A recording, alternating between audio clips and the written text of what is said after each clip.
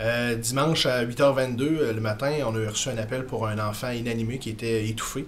Euh, les paramédics sont présentés sur place en moins de 5 minutes, arrivés au chevet du patient.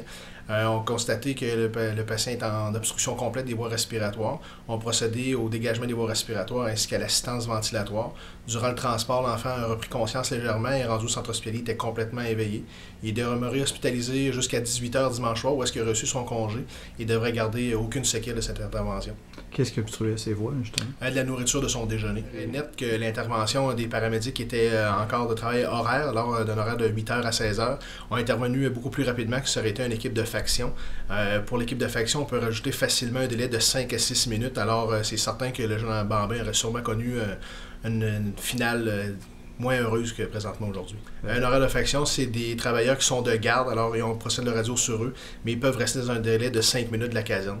Alors c'est ce qui tamponne des délais supplémentaires lorsque l'appel est lancé aux paramédics qui doivent se rendre avec leur véhicule personnel au camion avant de procéder à l'appel.